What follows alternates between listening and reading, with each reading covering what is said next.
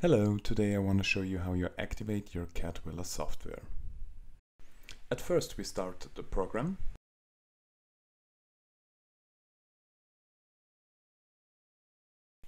Now you click on the button Get License.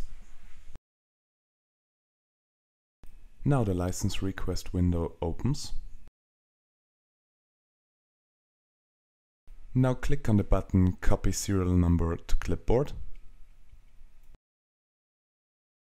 And now select the button Get License Now at the online shop.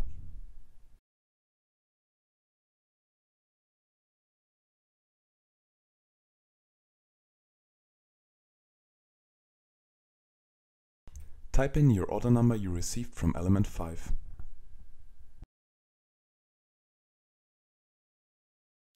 Now select the version you want to activate.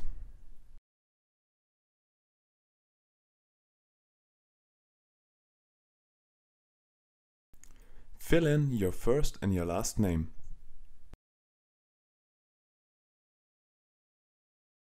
Now enter your activation key. You can find the activation key in the order confirmation you received from element 5.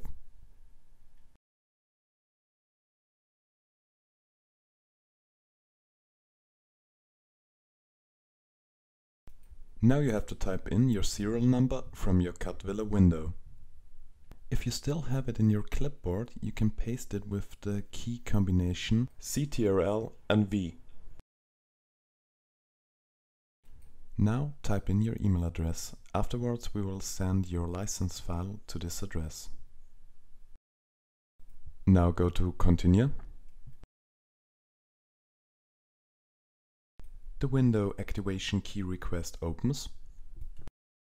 Review your informations and click Submit.